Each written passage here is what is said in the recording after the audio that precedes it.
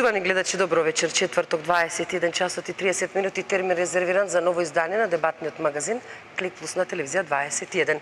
Светот се уште е во шок по изборот на, на новиот американски председател, 45-ти поред Доналд Трамп. А, многумина и во Македонија, така наречени хилараши, или се уште не веруваат дека а, Доналд Трамп, бизнисмен, могул, телевизијски магнат, е 45-тиот председател на САД. Дали какво влијание ќе има врз регионот? Што ќе би, што ќе се случува со односите Македонија со Соединетите Американски држави по изборот на Трамп за председател? Вечерва ќе дебатираме со моите гости, господинот Ѓорги Филипов, амбасадор, Господине Филипов, добро вечер. Добро вечер, благодарам на поканата. Со Андреа Стојковски од Македонскиот центар за европско образование. Добро вечер и за вас. И во секој момент, почитувани гледачи, го очекуваме проф... господинот Трифон Костовски како представник на Североатлантскиот совет на Македонија. Ви благодарам што ја прифативте поканата да бидете гости во вечерашното издание на Клик Плюс. Амбасадоре, вие долго време бевте во Берлин, потоа во Виена.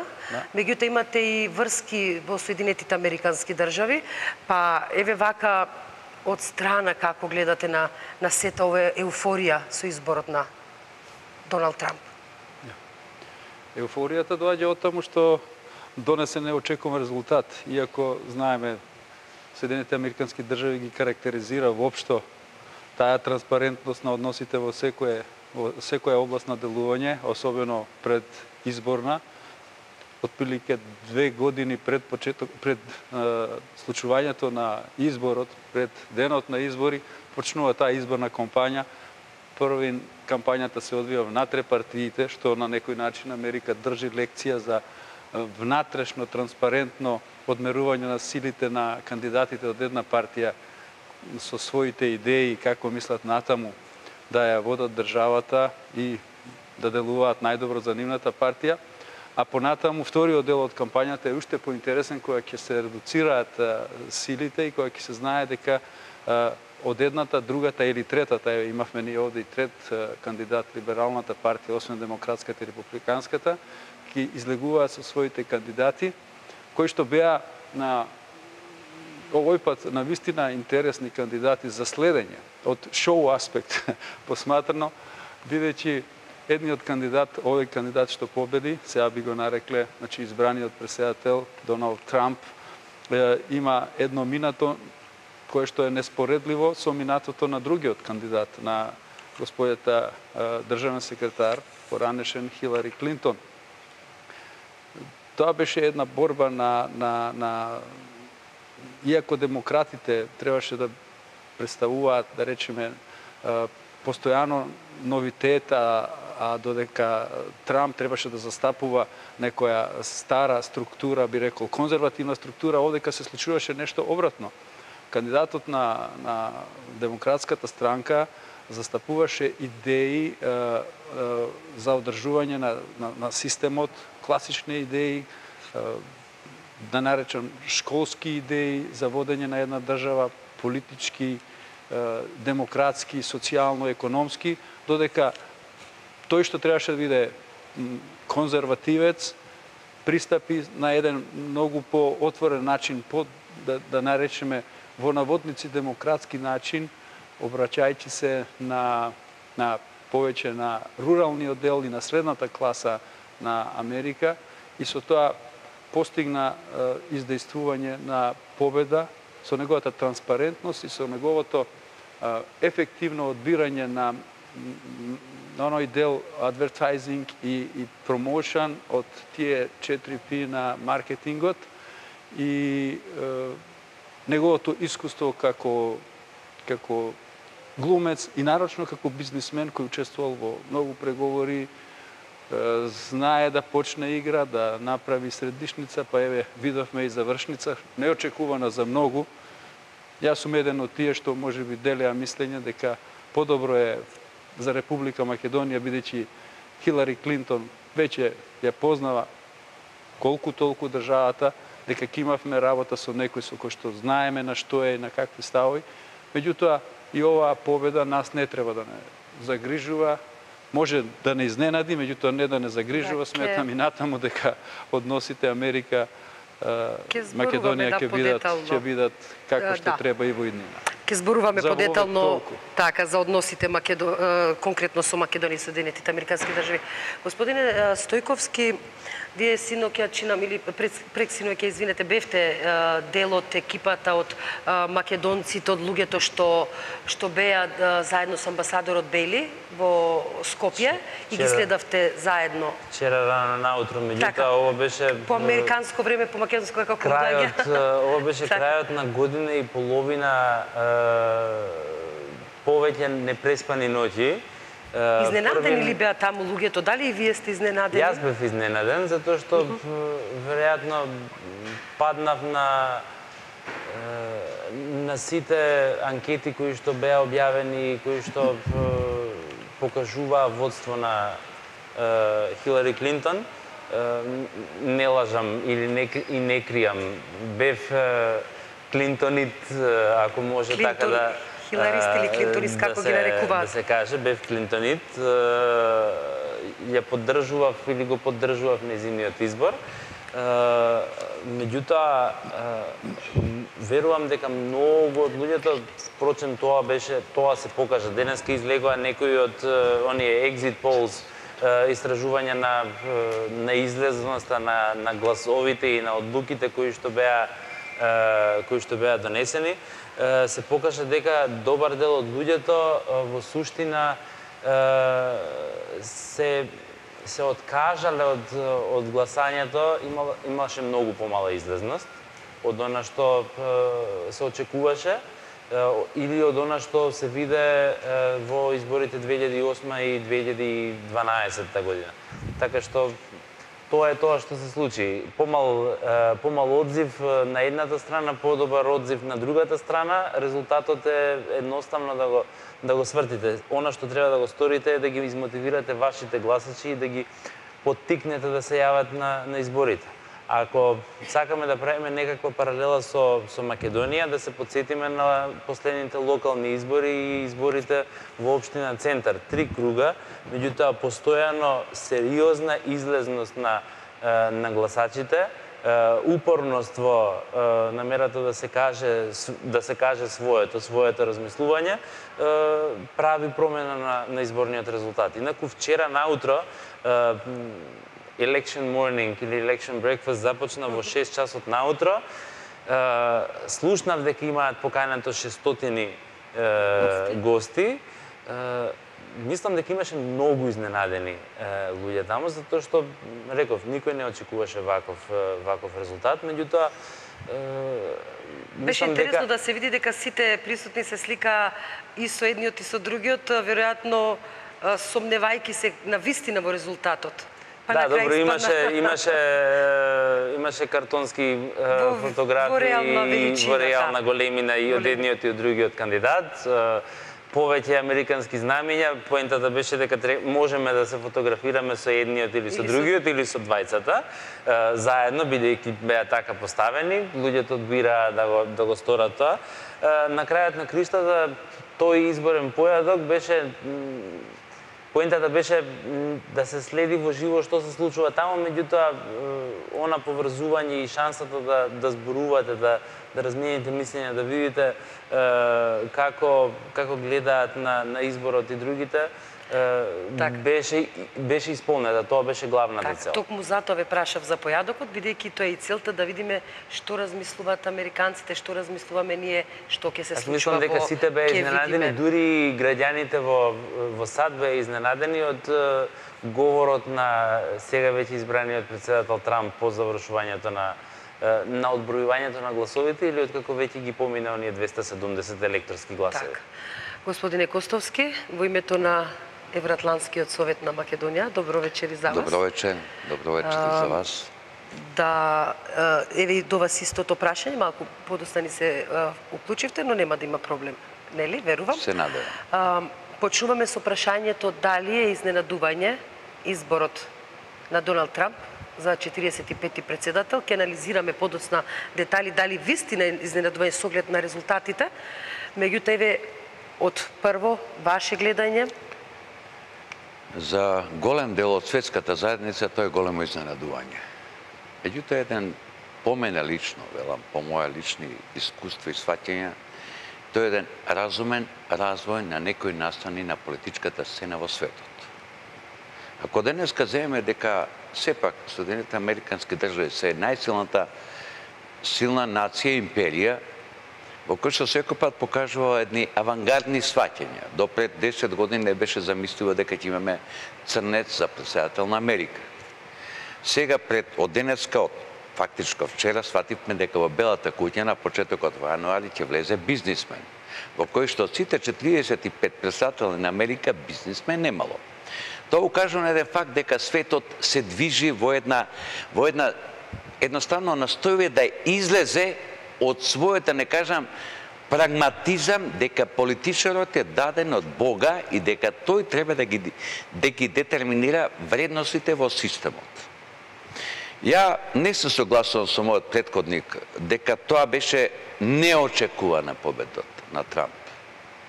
Ако се види анализа кој гласал за Трамп, ќе видите недвосмислено. Не е битно дали излегле подржувачите на Клинтон или не. Едноставно гласачи се тие обичната работничка класа, кој што дефинитивно сватила за мене, говорам пак од моја лично име, една работа. Бизнесмен е тој што дава работа, има обезбедува работа, има обезбедува екзистенција и сигурност. Политичарот, нажалост, во изминатите половина век, па и 100 години, некако се излите, стана веќе како нешто стереотипно кој што не дава некоја перспектива во поглед иднината и развојот на економските односи. За прв пат, простете ми, ако досега бизнисменот и во нашава средина и сега во, во светот се, се перцепираше како човек кој што е близок до криминал или криминалец. Во развиенот свет апсолутно тоа не е точно. Тој е фактички носител на нови идеи, нови содржини и нови поттици кои што треба да го водат човештвото. Јас сум убеден една работа. Постои изборот на Трамп и неговото стапување на снага како председател, светот нема да биде ист како пред неговото доаѓање и после неговото доаѓање. Колку ќе биде неговиот исчекор напред кон стварање некои нови вредносни системи во светот, Тоа е друго прашање. Тоа е секако една загадка која што врзана бидејќи функционирањето на функцијата председател во Америка е многу сложен систем во кој што преди се зависи од горниот, долниот дом, од демократите, републиканците во кој што да не се лажиме, во кој што исклучува функционира големиот бизнис. И Трамп не може да биде подалеку од она што би требало да биде нормално.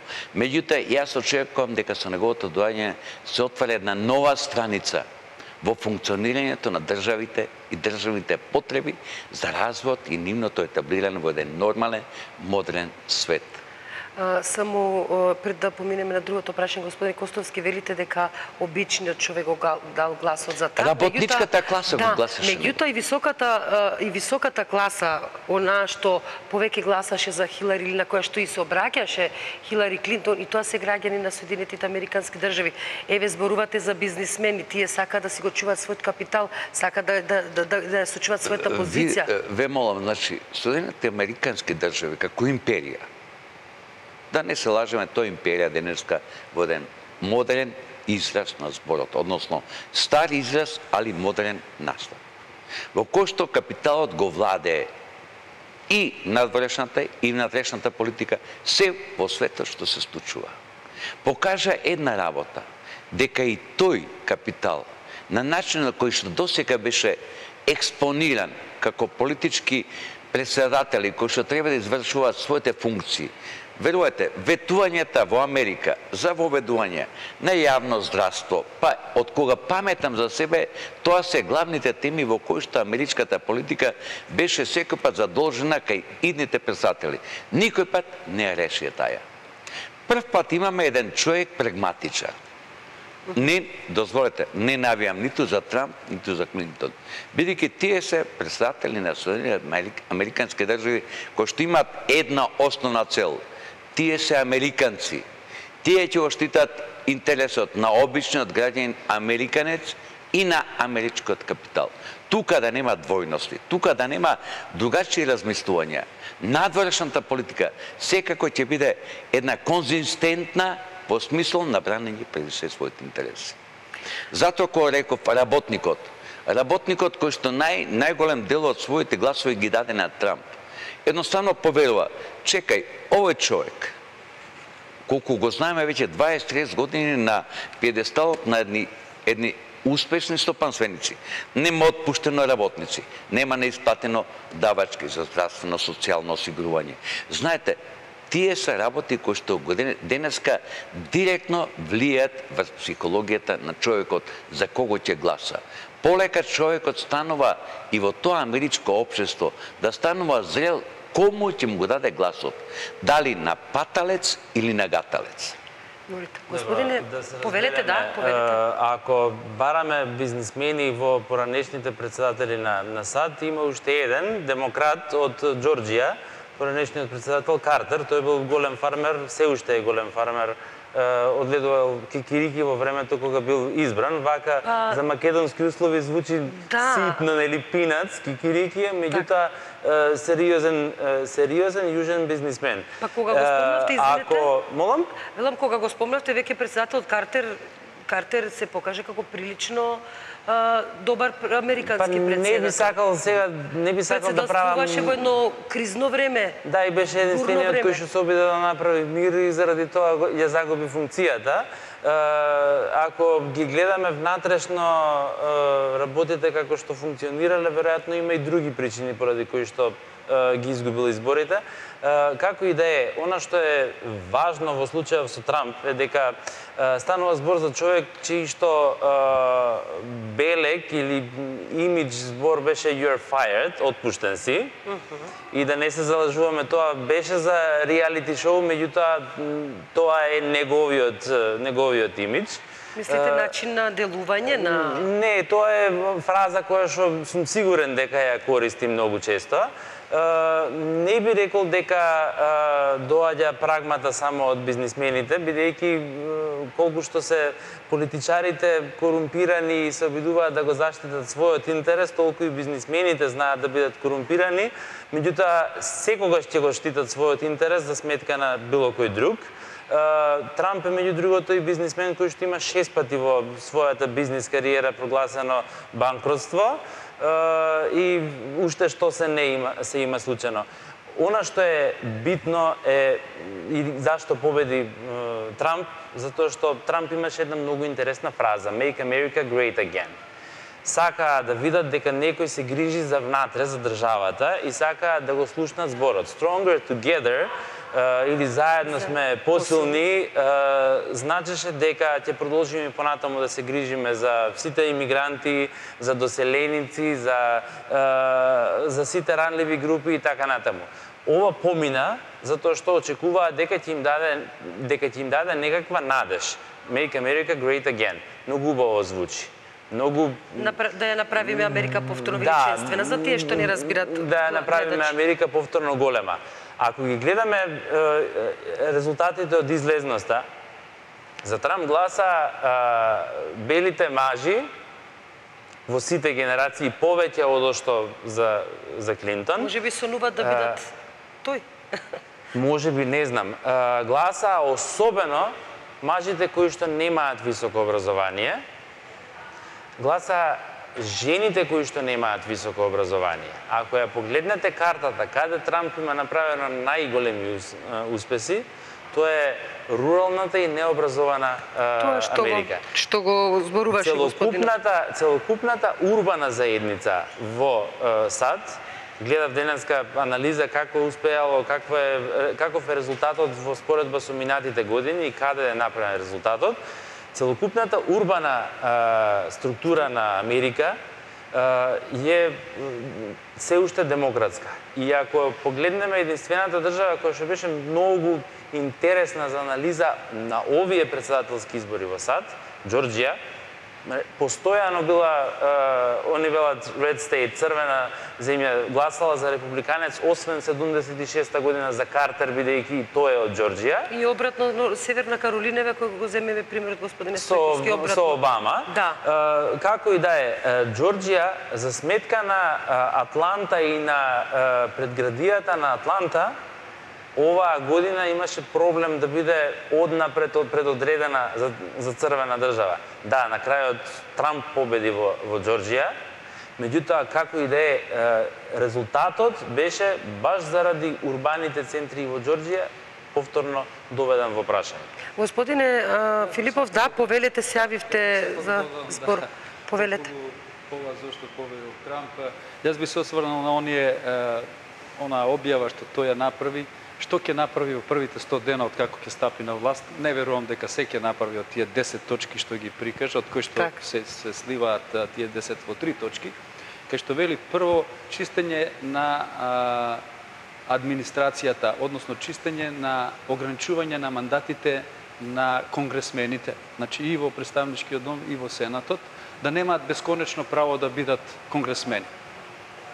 Тоа е една работа што им од- погодува на сите што се и од било која класа што не што не учествуваат во политиката.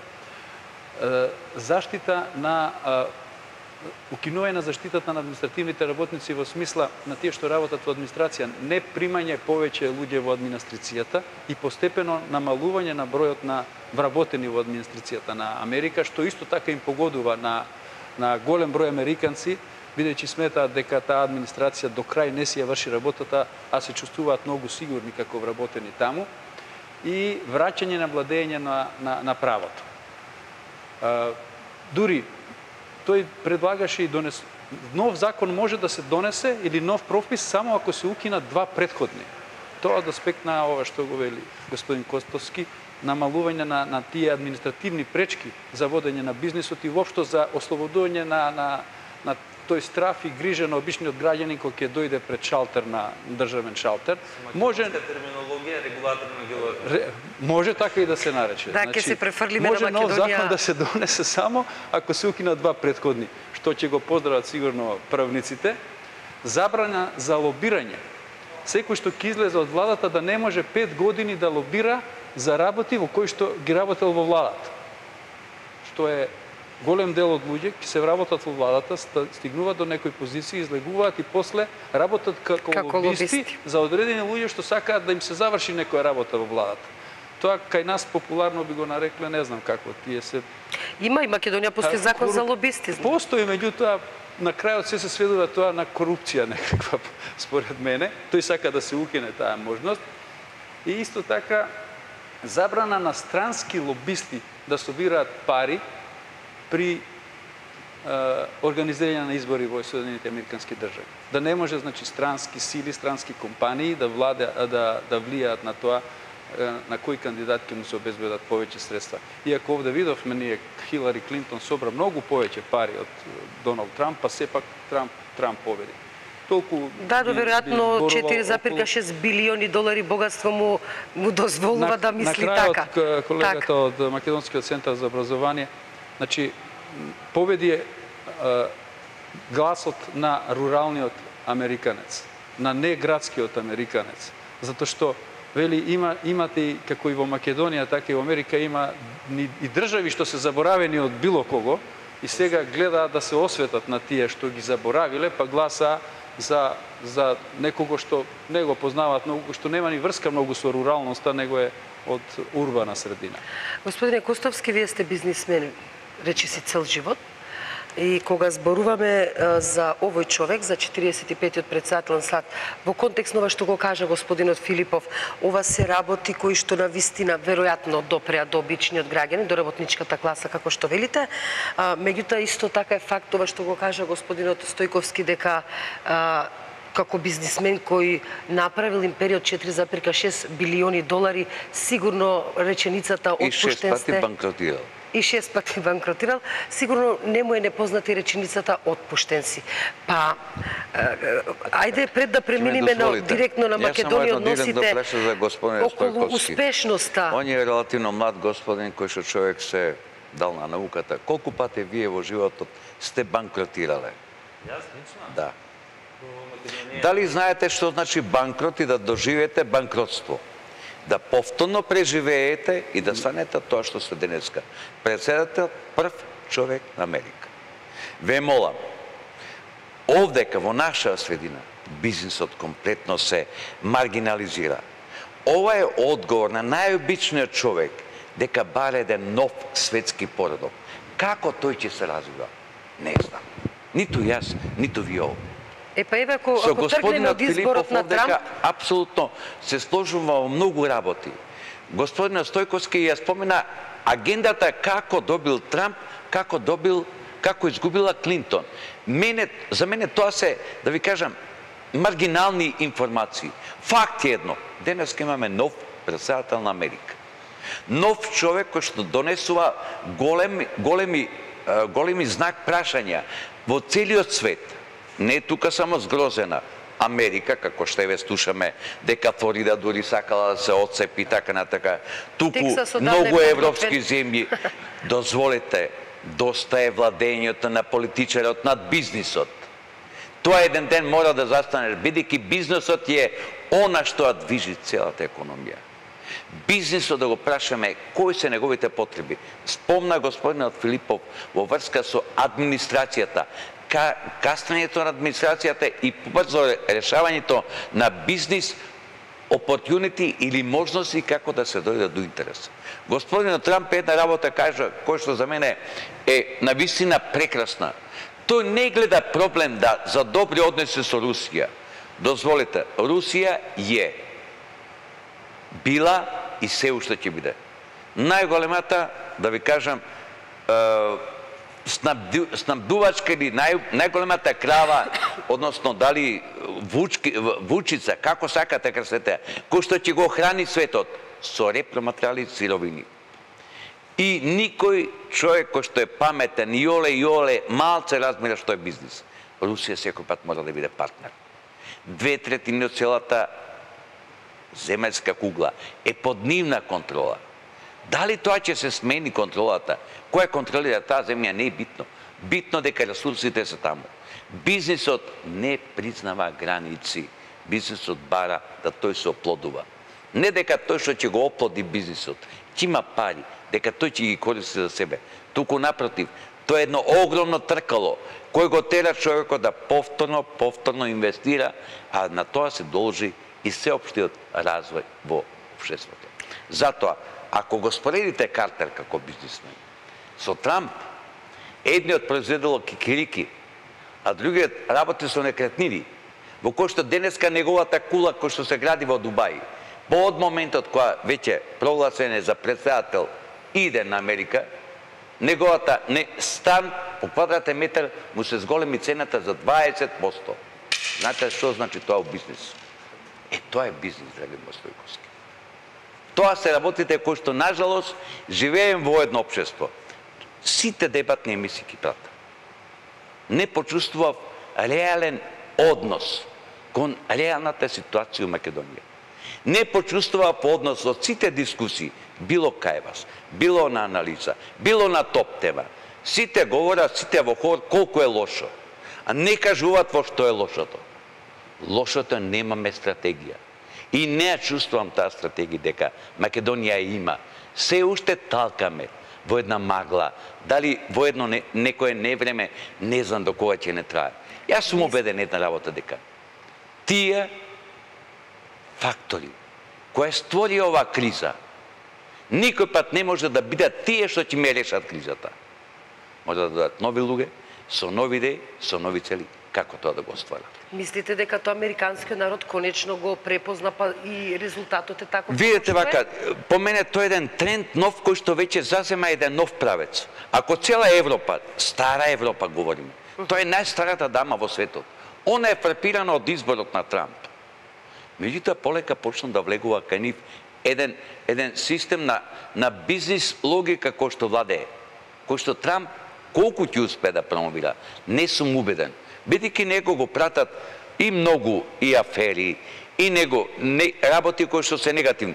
Меѓутоа, во секој случај, светот пред и после Трамп нема да биде ист.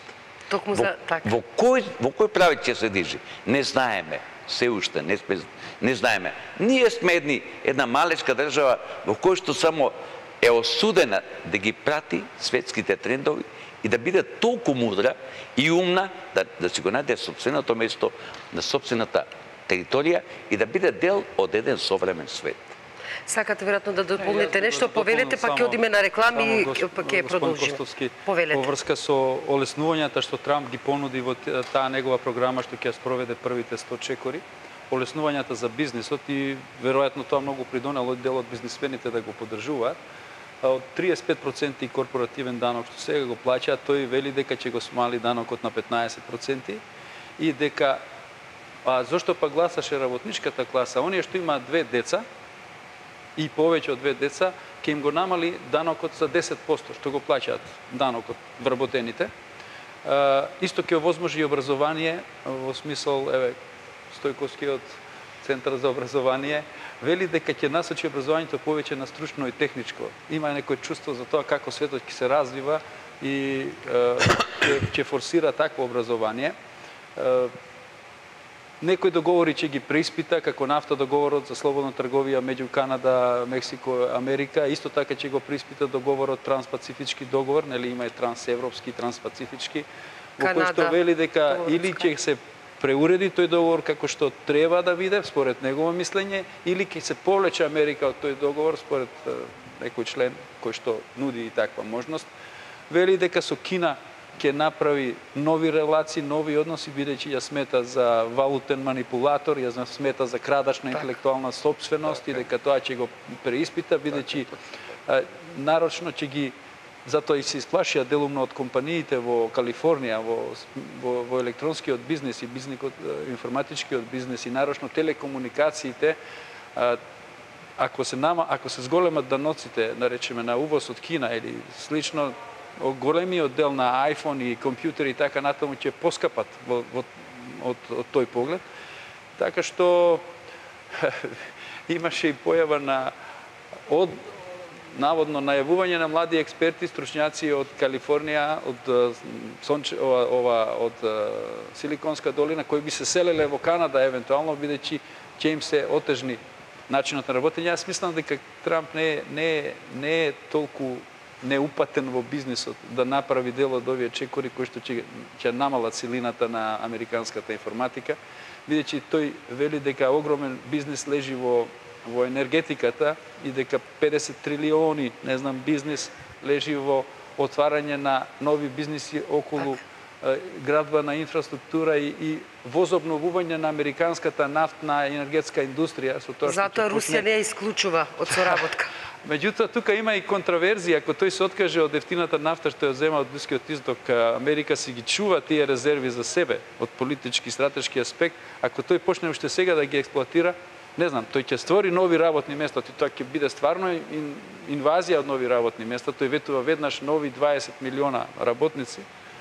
А, не би рекол дека на вистина така ќе постапи во тоа толку, толку брзо ќе се одвива таа стратегија. Ќе видиме колку Така. бизнисот и политиката може да да се да одат заедно. Побаравте реплика, по после на реклами ќе ќе одиме па ќе продолжиме. Овде нема Повелете. зелено, нема зелено копче, затоа А, добро. затоа изгледа За да така. биде поинтересна дебата. Не се за да биде поинтересно. А, Само уште две информации.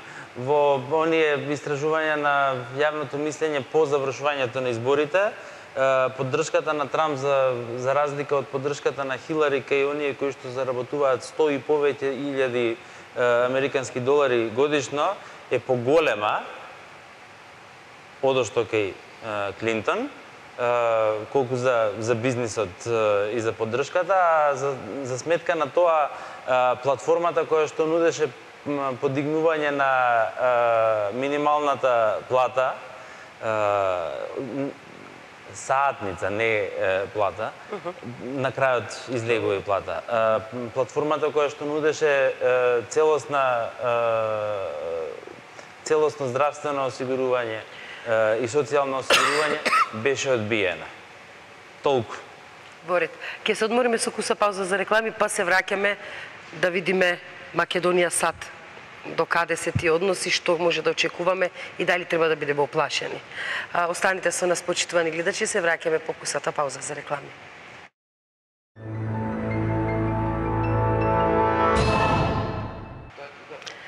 Се враќаме назад во студиото, почитувани гледачи. Дебатата вообичаено во Клик Плюс трае и за време на рекламите.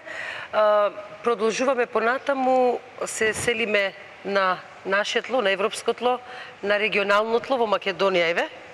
За Македонија конкретно на што нас најмногу не интересира. А, господине Стојковски, а, барем од она што може да да почувствуваме не може да тврдиме, не, а, треба да се направат анализи, меѓутоа она што може да почувствуваме и со оглед на тоа што се појаваа сајтови во Македонија, веб стра... сајтови што работеа во корис на Трамп, па некои финоси се богати, му текнало како. Очигледно, веројатно, веројатно неговата популарност како това лице овозможи, може би да го почувствуваме како по-свој, поразличен, она што го зборуваше господин Костовски, може би, еве, сите сонуваме некогаш да бидеме барем блиску до него. А, може би Хилари Клинтон одамна ја познаваме, па а, секој од своји причини, помалку или повеќе, има некаков анимозитет. Глобалната анкета која што Зошто ја Македонија по- го, го, го поддржува која повеќе спроведе е, Брима Галуп покажа дека е, на глобално ниво, на европско ниво, е, мнозинството од државите ја поддржуваа Хилари Клинтон, вклучувајќи и Македонија. Значи, ова беше глобална анкета која што ја спроведува во, во сите држави. Да се подсетиме кога беа Обама и Маккейн во, во изборите 2008 година, Македонија и Грузија беа единствените држави кои што го поддржа Маккейн или го поддржуваа Маккейн во тоа време. Не сум сигурен дека имаше не знам колку голема поддршка за за Трамп. Е, имаше очекувања кај кај некои кои што е, чувствува дека им ја кројат политиката или им го скроиле лечето, Па Мисля дека ако се случи промена на е, на председателот во во САД, ќе се случи промена и на на нивната позиција овде, локално, дека ќе успеат да се спасат. И мислам дека онаа поддршка која што имавме шанса да ја видиме или барем оној излив на емоции вчера со со честитки и поздрави Македонија вечна, доаѓа доаѓа баш поради таквото лажно очекување. Лично мислам дека многу нема да се промени во во однос на е, односите со Македонија. Ние сме стратешки партнери ако гледаме договорот кој што го имаме подпишано и ние и тие ќе продолжиме да бидеме стратешки партнери и понатаму. Ако некој утро него налутиме Трамп и не почне во 3 саат да твита е, дека ќе го укине договорот или дека ќе се е, повлече од договорот, сега ова се шегувам, ама на крајот на криштата се шегувам на реални состојби кои што ги правеше за време на кампањата. Иако кампања е кампања, е, водење на држава е нешто сосема поразлично. Веќе гледаме дека реториката која што ја употреби вчера и денес е, многу поразлична од онаа која што ја користеше за време на кампањата. Дури тоа делот со за муслиманите веќе го нема на официјалната страница на Доналд Трамп изјавите Многу од многу од работите многу од работите ќе се променат. Меѓутоа стравот не е не е поради поради не знам што, баш поради овие поради ваквата реторика и поради фактот дека во многу наврати успеа да го да го извадат од од колосек да изреагира онака како што многумина не сакаат да изреагира. Во светската политика тоа не е нешто што е посакувано. И ако ја погледнеме по, честитката која што ја упати Ангела Меркел, да, беше беше честитка, затоа што тоа е тоа, мора да има такво нешто или И се очекува. Меѓутоа, пораката беше дека партнерството помеѓу САД и Германија се заснова на вредности и принципи и дека тие се основата за односите, за развој на односите понатаму. За САД и за Германија како партнери врз основа на тие вредности и принципи.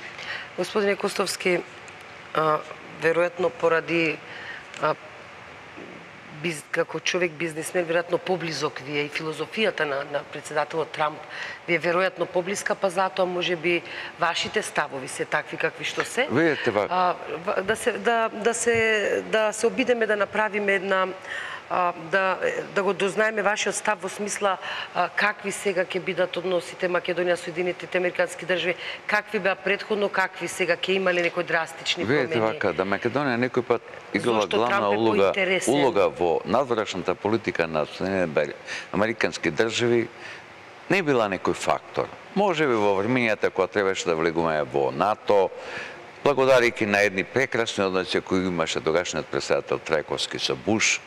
Меѓутоа, ние можеме да жалиме за тие времења што не успеавме да ги валоризираме и да влеземе во едно вистинско друштво каде што би сакале да влегуваме. Трамп ќе следи секако политиката, надворешната политика, посебно согласно интересите на Соединените Американски држави. Тука да не се лажеме. И многу внимателно слушав изјавата на Бели веднаш по изборот на Трамп. Не гледа некакви препреки во поглед нашиот договор меѓу Соединените Американски држави и Македонија и апсолутно ние би биле нај најнаивни да доколку нешто во сета таа работа ќе настојуваме нешто да или ушичариме или да расипеме. Ве молам, проблемите за тие односи не се од таа страна на Атлантикот. Тука се кај нас дома. Ние имаме стратешки партнер во Соединените Американски држави. Тоа треба да го почитуваме. Имаме една навистина силна економија, силна империја и да се разбереме. НАТО како структура која што а, ако од почетокот беше прво војна, денеска се претвора во многу повеќе нешто туку војна алијанса. Ако погледнете кого брани, го брани капиталот. Кои се членки на НАТО? Се се тоа силни економски држави. Према тоа говориме за еден систем на одбрана на капиталот.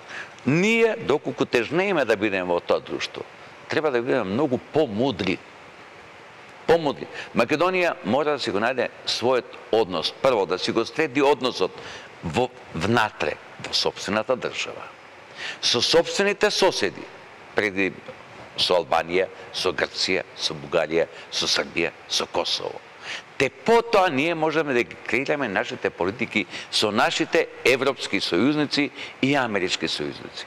Ве молам, Трамп за мене испрати една недвосмислена порака во кој што сите европски бирократи, во кој што ги идентификуваме како денеска незаменливи, Меркел, Оланд, во кој што сите беа, беа да не кажам, испрустрирани од изборот на Трамп.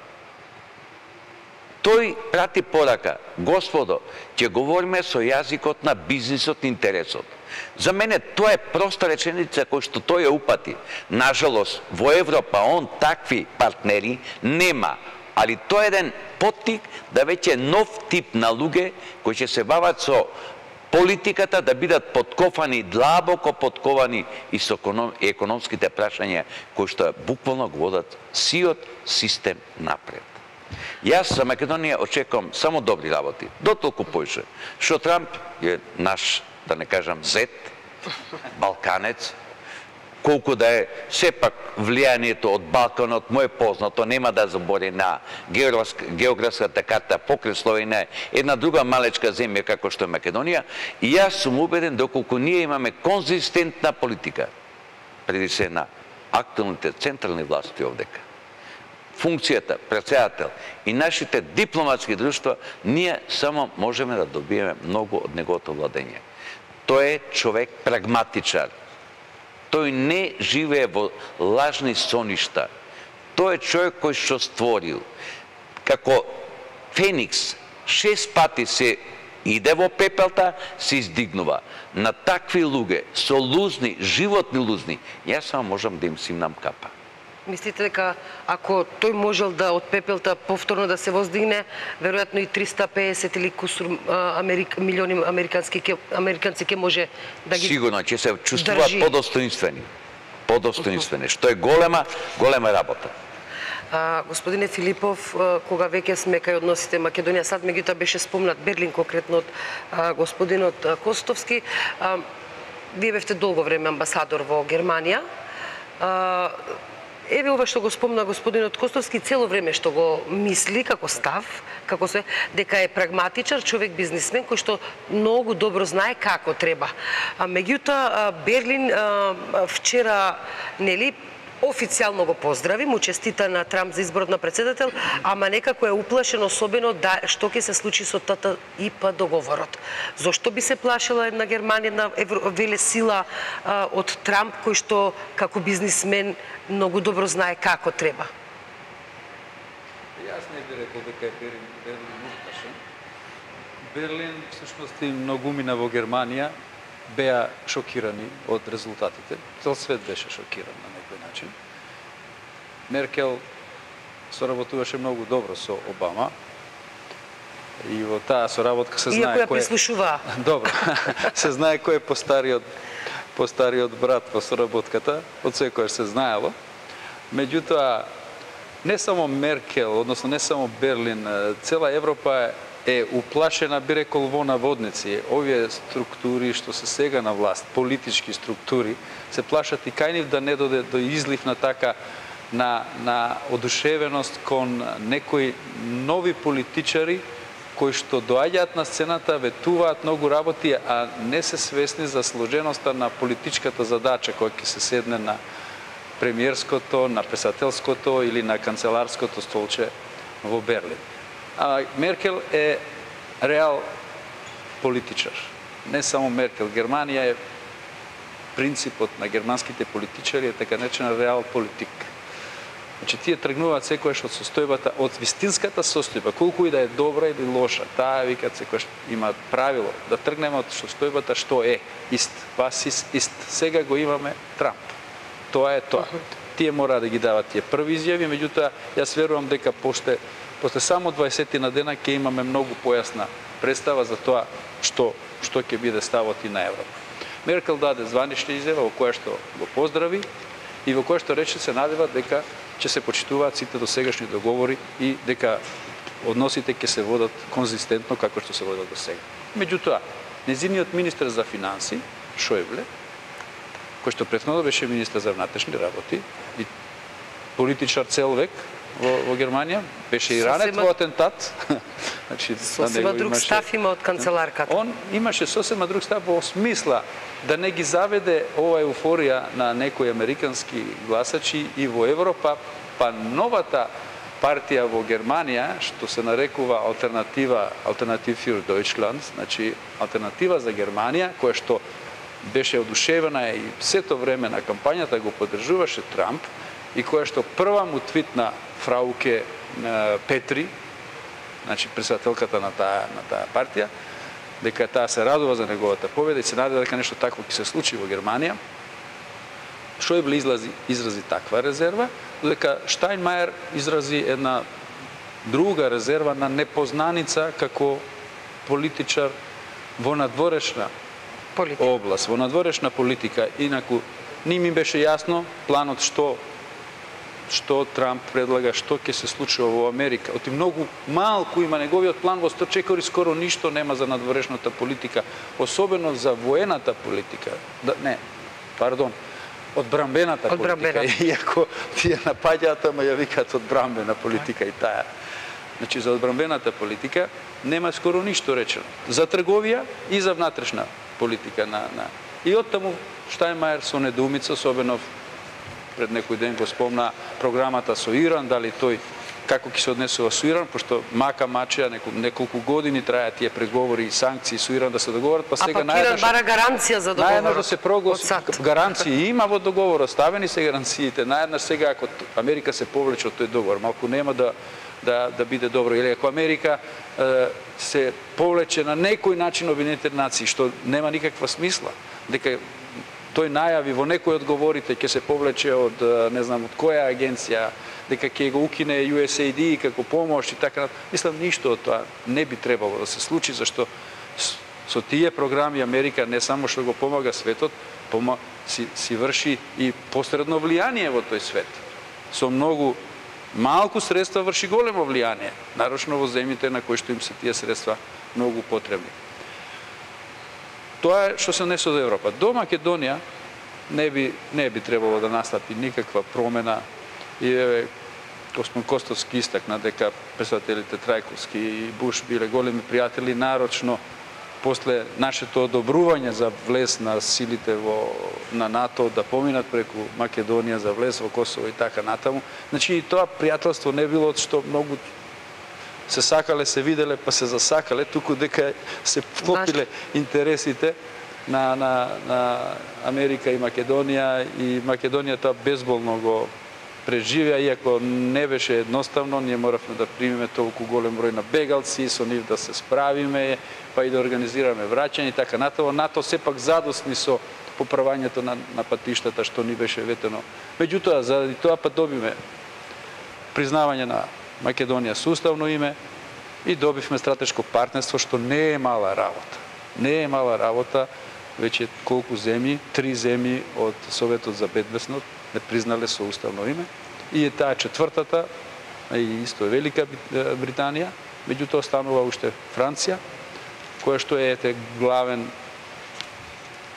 бастион, да речем, на, на задржување на, на, на тој предлог, односно не предлог, туку став на Грција дека ние треба да го промениме името. Уште тој член е од Советот на безбедност кој што би требало да го промени своето мислење, може би да си осигураме некоја друга позиција. Иако на економски план тоа тоа влие на политички план, на економски план не вие. так. Значи партнерството ќе си остане, Америка и онатаму ќе остане поддржуваш на Македонија и натаму ќе остане еден од најголемите донатори бидејќи со Германија и Јапонија тие три држави се најголеми донатори на Македонија, што признаени средства по едно сигурно 5-600 милиони долари, а што и средства невидливи, многу повеќе, значи барем 2-3 милиарди од тие три земји ние сме добиле и нема зошто и понатаму да не добиваме на еден или на друг начин Токму тоа сакав да ве прашам, да, господине Стојковски. Трамп, Трамп испразни го или исуши го мочурището, беше главната парола која што ја извикува поддржувачите и гласачите на Трамп на, на последните митинзи и се однесуваше на револтот кој што постои против естаблишментот, може би не толку, против оние кои што со векови се со години се во во политиката, во Конгресот, во представничкиот дом или во во Сенатот и при тоа многу малку придонесувале за промена на, на состојбата или пак многу малку се грижале за, за своите гласачи. Зошто го кажувам ова? А, првиот предлог на, на Трамп во листата која што господинот Филипов ја спомена, а, беше уставен амандман со кој што ќе се воведе ограничување на, на мандатот или на должината на а, бројот на мандатите кои што би можеле а, на кои што би можеле да се надеваат овие избрани представници. Во првиот момент кога излезе листата, лидерот на мнозинството во Сенатот Мич Меконел, е, сенаторот Мич Меконел излезе и кажа дека такво нешто не доаѓа во предвид. Сепак ти имаат механизми на контрола. Господине Стојковски, морам ова да, Да. го кажам. Убаво исто така што господинот Филипов кажа за, за германската реал политик, да не се залажуваме и да не оставаме впечаток дека прагматичарите се само бизнисмените. Е, нема такви политичари кои што се бават со идеали, можат да ги продаваат, меѓутоа се многу прагматични кога станува збор за интересите на државите чи, кои што ги застапуваат. И е, нашиот сосед Ципрас беше е, продаваше идеали на своите гласачи, меѓутоа на крајот стана На прагматичен во оној момент кога се соочи со реалноста и со она што треба да го направи. Реални се, доволно се реални. Може би сакаме да продадеме нешто кога зборуваме за прагма, па заради тоа така зборуваме. така, ве молам Кусо, побаравте само зашто да одиме со другите Герма- прашања. Европската европската бизнес структура, нарочно германската има зошто да се радува можеби на победата на на Трамп. На во каква позиција се најде овај Volkswagen, да не забораваме, со пронаоѓање на Јасно, Да. затоа реков, дек, на, на, Да. наводно германските автомобили загадувале повеќе од потребното, над Така. брзина над 100 и не знам колку километри, која што ретко се вози. Меѓутоа, требаше Volkswagen да плати толку и толку пари и исто така и уште Deutsche Bank исто така Ете, така, 17 кога сме милиарди требаше да врати и така натаму. Сето тоа како својден политички притисок преку преку бизнисот на некој начин нелојален, барем така германските бизнисмени си го замислуваат, па така што може би се радува дека Трамп таква работа не би направил, може би да почекаме да видиме кога сме веќе кај парите, ве молам се да, да завртиме, но пак да се фокусираме на Македонија. Ова што рековте дека финансиската подршка очекувате дека ќе продолжи, не очекувате никакви промени. Господине Стојковски, ве прашувам особено Не безусловни, не безусловно продолжување. Се- Секогаш даваат услов. Гледаме веќе дека не ни се одобруваат некои средства ако не образложиме точно зашто ни се наменети. А, Токму тоа, вие доаѓате од невладиниот сектор и тоа прашање повеќе ми беше наменето за вас. Деновиве во јавноста може да се прочитаат разно разни информации дека со доаѓањето на Доналд Трамп за председател на Соединетите Американски држави ќе сопре помошта на Сорос во Македонија, односно невладините организации кои што ги викаат соросоидни, веќе нема да имаат пари. Што значи тоа? Дали е така? Дали може да биде така? И всушност што мислите А, вие? едно мало дополнување, не можам да кажам дека е корекција, а, затоа што не ги знам точните бројки, меѓутоа од она што се сеќавам, мислам дека Холандија е билатерално најголемиот донатор во Македонија. А, реков, не сум сигурен, мислам дека е дека е така, во секој случај САД не се најголемиот билатерален донатор. Но не заостануваат. А, не заостануваат. А, кога станува збор за прашањето кое што вие го поставивте, одговорот лично мислам дека не е, од причина што не станува збор за средства од е, трезорот на САД е, и Доналд Трамп нема зошто да ги одобрува средствата или не, не може да ги одобрува средствата. Но сепак може да влие на, на креирањето на политиките. како не, председател. Не знам, не знам како. Не знам како. Не гледам механизам со кој што тоа може да го да го стори. Значи невладиниот. USAID. Значи Точно тоа е невладиниот да сектор може да влие само на на државната помош која што доаѓа од Така. САД и тоа е агенцијата USAID. Да. А, и таму да не се залажуваме, нема да биде тоа одлука на Трамп кога станува збор за Македонија. Uh, USAID веќе имаше подготвено, работеше на план за phasing out, повлекување од државава. Поддршката која што ја даваат, ја даваат за нормално за остварување на нивните интереси, ама за остварување на нивните интереси во во насока сакаат да ја видат Македонија како членка на на НАТО и на Европската унија затоа што тоа значи делумно исполнување на нивните интереси. Ако на нас ни треба поддршка за владење на правото и за утврдување на одговорноста на сторителите на кривични дела, учесниците во корупцијски скандали, злоупотребата на службената положба и е, овластувањата, тогаш нормално е дека средствата ќе бидат насочени за судство и владење на право. Uh, истата програма ја има и во Обединетото кралство, истата програма uh, меѓу другото и со е, многу други области е дел од работата на Европската унија овде.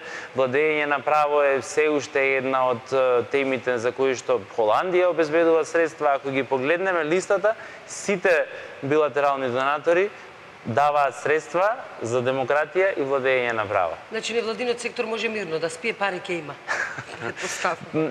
Убаво би било кога невладиниот сектор би можел да се надева на системски системско решение и програма која што ќе му обезбеди средства од државата. Од Македонија, мислите, од Македонија, од собствената држава. Бидејќи Македонија правевме пред неколку години едно такво истражување, гледавме колкави се бројките, видовме дека е, скоро подеднаква е во тоа време беше скоро подеднаков сооднос од македонски средства и средства кои што доаѓа од билатералните донатори.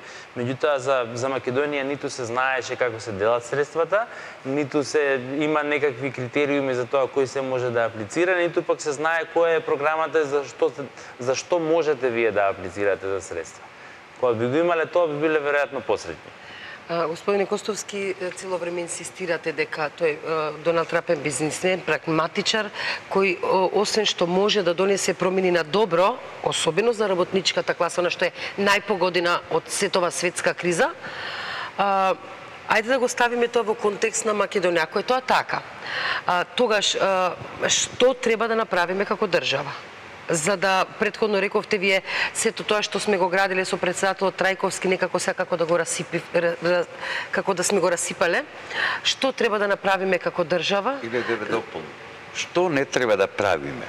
Во ред, еве нека биде така како вие сметате дека така треба да одговорите, бидејќи еве поправете ме ако грешам, имавме ние чинам економски совет Македонија 2025 Да. во која што во која што членуваат успешни бизнисмени македонци кои живеат надвор од Македонија и во Македонија чинам, поправете ме ве молам ако грешам, а, таму имаше прилично добро етаблирани македонци бизнисмени кои што веројатно може да допрат до Да. сегашниот председател. Имаме прекрасни луѓе, меѓутоа ниеден не видов производ кој што навистина ќе даде раце и нозе на еден проект кој што може да го имплементираме во Македонија.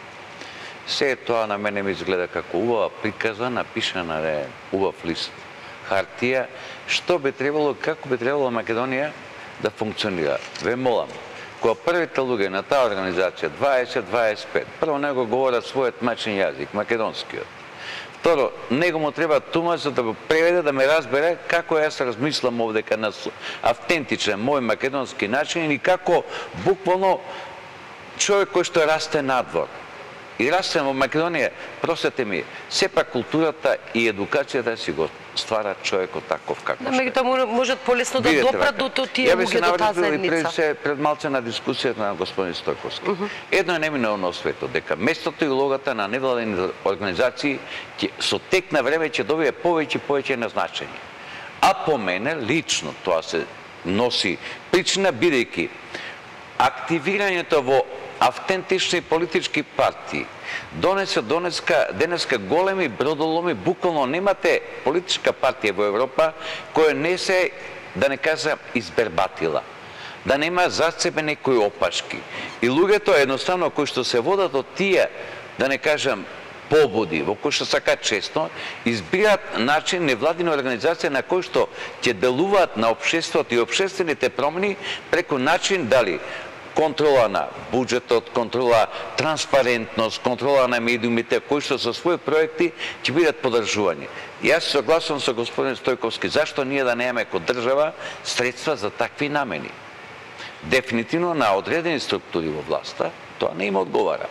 Да имаме луѓе кои што се едукативни, кои што се паметни, кои што ги разбираат нештата, едноставно утре ќе испадне како со негов камен, како да тој од джебот ги дава парите, треба да го удри по негова глава. Тоа мораме ние сами да го надраснеме. Мислите да дека не ни треба поддршка на дворешневе конкретно од САД Видите кога вака, веќе јас сум, јас сум застапник. Јас сум застапник. Молби и помош ја не сакам.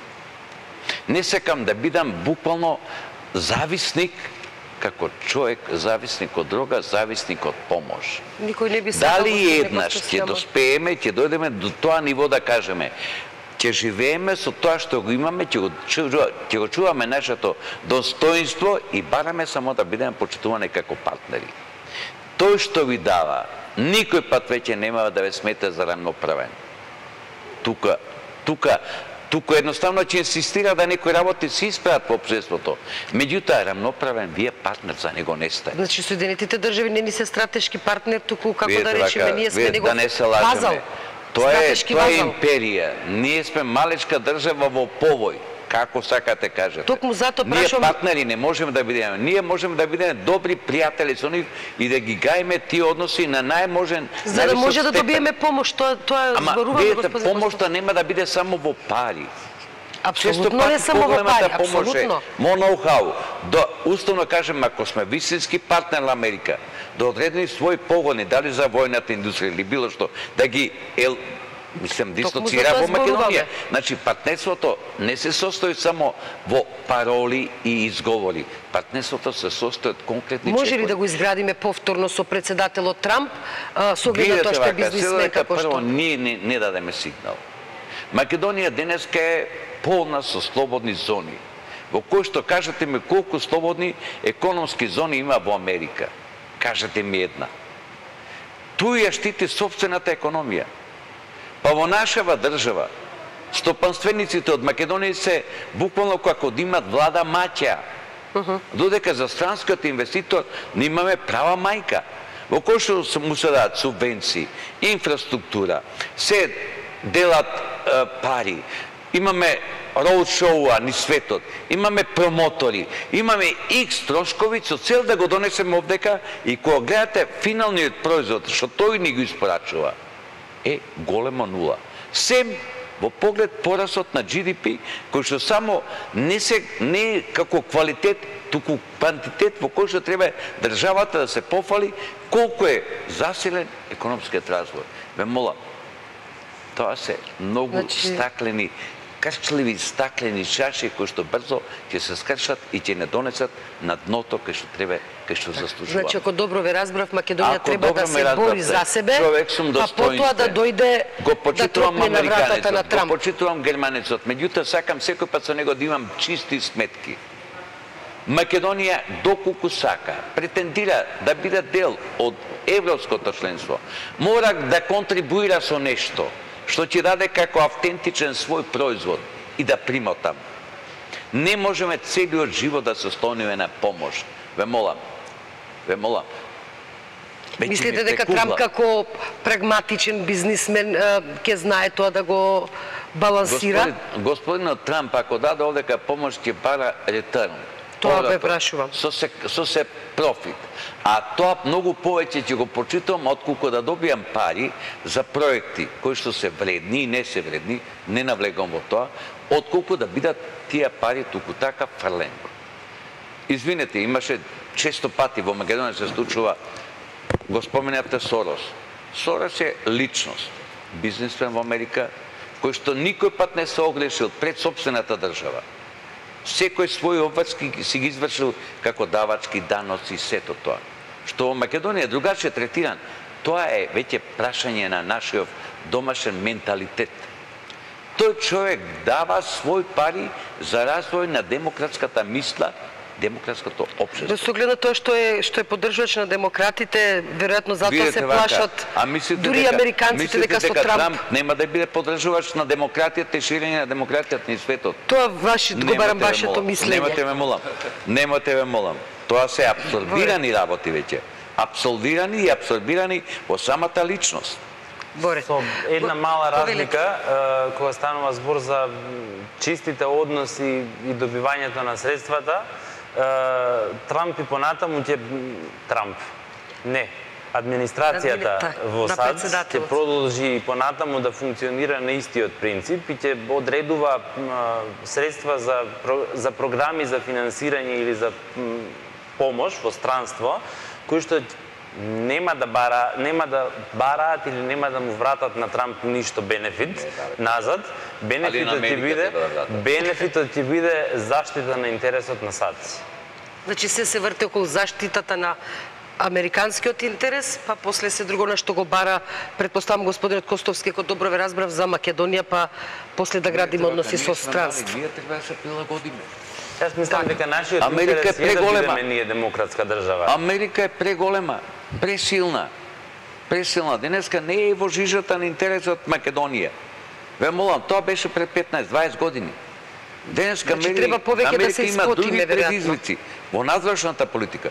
Ние треба да бидеме мудри и паметни како да се доближиме до тој амерички интерес во кој ќе стекнат сигурност дека имат партнер, дека нема во прва кримина да им сврти грб, туку напротив ќе бидат Така. на вистина лаи, односно ќе бидат А, имаме уште 5-6 минути, господине. А, Околу- Ве молам само кусо за да ја завршиме, треба уште едно прашање, барем според мене едно од најважните што е не засега директно нас. Не, Повелете.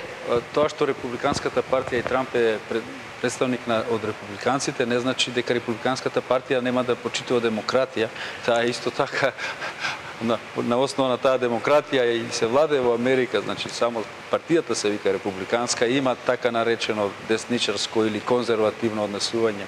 Меѓутоа, демократските процеси, потребата од демократија, Америка и натаму ќе инсистира на тоа на светот да се да се шири ни светот иако се покаже дека во некои структури дури таков систем тешко може да да да владее дека и понатаму ќе продолжи соработката, ќе продолжи ова околу помошта, ние наводно ја викаме помош, тоа не е помош на, на човек безизлен или сам е, или да му се помага да да се најаде или да се напие, него тоа е а, некакво заедничко соработка во натамошниот развој, дури во Германија го сменија името, веќе не се вика за техничка помош, ништо, него се вика за техничка соработка. Дури Борите. и, и нивните агенции се сменија во во називите ги да сменија, не го сврлија бројот помош, да да не не биде навредливо, зашто има чувство зашто нам на вистина не ни треба помош да не спаси од глад.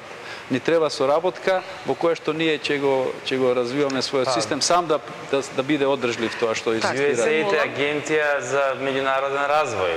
Така. Така, ве молам сега имаме уште кусо време ќе го Така побарам одговорот од сите. Да, рековте дека ќе што ќе зборуваме, меѓутоа еве час и половина помина окей. амбасадоре. А, го барам мислењето од сите тројца. А, она што веројатно може со право да речеме дека не е засега, се уште опасноста не е помината, тоа е мигрантската криза. Ако председателот Трамп најави градење на зид за мексиканците, односно кон границата со Мексико, може ли да очекуваме американската политика да го смени својот курс во смисла на а, мигрантската криза?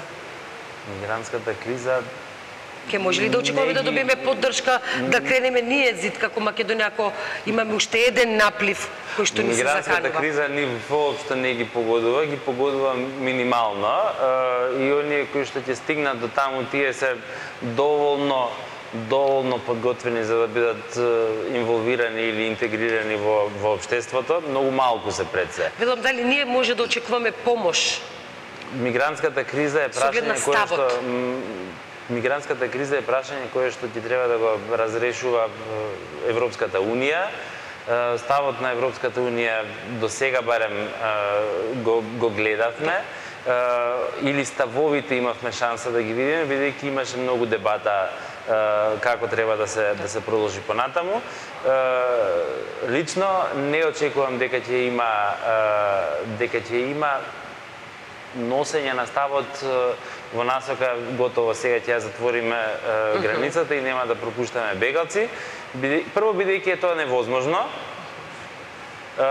Второ затоа што политиката веќе се виде. Ќе сторат се што можат за да го задржат бранот на бегалци, меѓутоа нема да биде тоа е, е, целосно запирање на, на протокот или на движењето на луѓето, првенствено заради тоа што и тоа е една од вредностите на него. Господине Костовски, истото прашање? Па ја ќе кажам дека во севкупната човечка историја мигрирањето била нормална појава. Причините биле различни. Дали економски, дали воени, дали болести. Во секој случај не паметам од цивилизацијските вредности од историјата 2 до 3000 години наназад, до денеска да немало мигријање на луѓе. Најпросто ќе ви кажам, бев градоначалник на град Скопје. 1909 година. Градот Скопје брело 18.000 жители, од кои што неполни 14.000 биле турци, неполни 2000 луѓе биле славјанско ориентирани, недефинирани како македонци, неполни 1500 ли биле албанци и роми. Се знаело колку чешми имало, колку фурни, колку анови. Значи, говориме за едно Скопје, кој што во текот на еден век комплетно ја променила својата карта на мигрирање. Минатата година, во крајот на ноември, бев на 20 годишнината од прославувањето на меѓународна криза група, каде имаше една панел дискусија во Њујорк за местото и улогата на Африка. Африка денеска континент кој што е најзапоставен во кој што посебно во централниот дел на Африка, не говориме северниот или јужниот, кој што сепак имаат инфраструктура за прием, но пристаништа, железници, додека централниот дел кај што е концентрација скоро 600 милиони популација, од кој што под 19 години се 55%. Замислите, 55%. Таман би ни дошле тука. Тоа е, дозволете, тоа е, значи, нема никаква инфраструктура, никаква индустрија. Земајќи го предвид, мислам, модерниот начин на комуникација, електрониката, мислам, поврзувањето. Ова што се случува денеска од Блиски исток, кој што е предизвикано ради војна, може да се случи од економски причини, да тоа се случи со Централна Африка.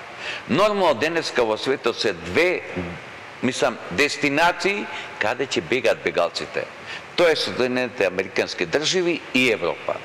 Соединените Американски држави веќе деценија наназад прават одбранбени системи како да се одбранат од тој наплив, огромен наплив на, на, на мигранти кои што може да поплави цела Америка и да го комплетно дисторзира целиот систем. Америка, односно Европа и Унијата Европска кој швајцарско осилјање. И затоа не е во последно време случајно, не случајно, се појавуваат многу, мислам, перфидни игри. Дали ќе обстои, нема да обстои. Дали ќе сте раздали, дали нема да сте раздали. Бидејќи разногласието во Европската Унија иде во крајности од крајен либерализам, отвореност, до крајен, да не кажам, сатанизирање на тој бегалец. Ме молам, Средоземното море, во едни вакви наезди на, на, на човечки судбини кои ќе трагат по својата иднина, може да биде со милионски, значи ljudски, ljudска популација. Дал ќе може да издржи? Верувате, не сум сигурен. Не знам, не сум сигурен, што не чека понатака. Так, ќе видиме што ни носи времето. Видете вака, јас имам прекрасен пријател кој што е творец на модерната дипломатија во Италија, Умберто Ватани човек кој што цел живот и целото семејство беше одадено на дипломатијата. Неговиот син е во моментов во Јужна Кореја амбасадор. Случайно се видовме и резигниран ми кажа, Трифун, цел живот креиравме свет за мир и достоинство и развој. Денеска, през моето заменување, не знам каков свет оставаме зад нас. Не сакам ова да звучи песимистички Без... ни најмалце, меѓутоа ова сакам да звучи како луѓе да бидеме предосторожни на сето тоа што може да ни се отучи. Да не делуваме постфактум, туку да го преудицираме превенција. Так. Амбасадори за вас истото прашање да ја заокружиме оваа дебата. Чи... Повелете. Председателот избраниот председател Трамп има се една голема шанса да го реши тоа прашање со мигрантите а најлесно се решава со прекинување на војната во Сирија. Нема војна, нема мигранти. Тоа е толку едноставно. Значи не може да Звучи да едноставно, значи лесно е да се каже да се реши прашањето со мигрантите, меѓутоа тешко се откажуваме од војувања. Ако на вистина се навестува пријателство меѓу Трамп и Путин, тоа може и лесно и да се случи.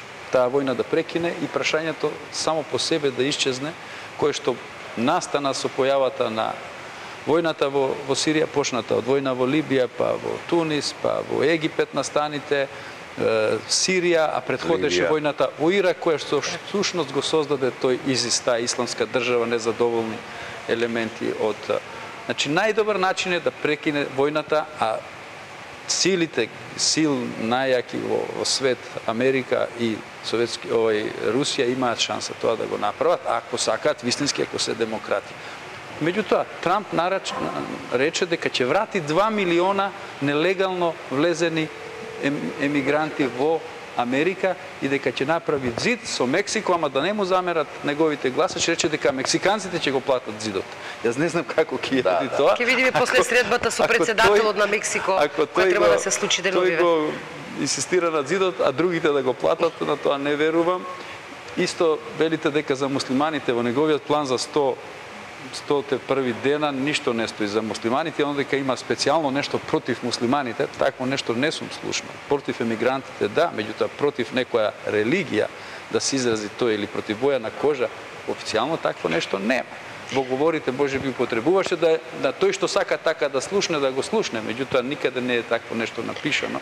Так. Всушност во да. дека терористите се терористите се вообичаено тоа е друга Тоа мислев кога реков така. како што мексиканците се силувачи. Силувачи, на тоа мислев кога реков дека друга работа, друга работа е што е ставено на хартија во тие први 100 дена и тоа воопшто нема да се случи бидејќи Америка е најдемократската земја во која што може секој да види која сака религија па може дури да крсти црква ако сака, црквата на зелените лисија и таа да му биде признаена и да и да постои. Значи тоа е слобода е така, на слобода на религиско изразување. Ако е така, тоа дозволете ми да заклучам дека сепак не е толку песимистички овој свет, ќе може да се надеваме на еден помирен помирен свет, особено ако се стоплат односите Русија Трамп Путин, да со ова би сакала да ви заблагодарам уште еднаш што бевте гости во Клик Плюс. Се надевам дека ќе имаме следна прилика за што да разговараме во овој состав. А, ви благодарам уште еднашка, а вам почитувани гледачи ви ви благодарам за вниманието. Останете со нас следуваат вестите на албански јазик, а веднаш потоа и на македонски од дежурната екипа ви посакувам мирна ноќ.